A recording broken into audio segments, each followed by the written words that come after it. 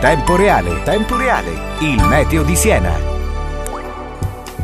Un cordiale saluto da Marco Biagioli di Meteosiana 24.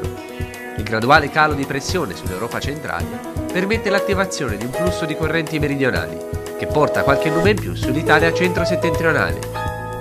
Nella giornata di lunedì 24 aprile il cielo si presenterà parzialmente nuvoloso nelle ore pomeridiane.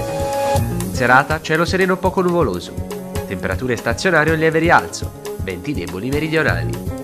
Martedì 25 aprile, cielo parzialmente nuvoloso o nuvoloso al mattino.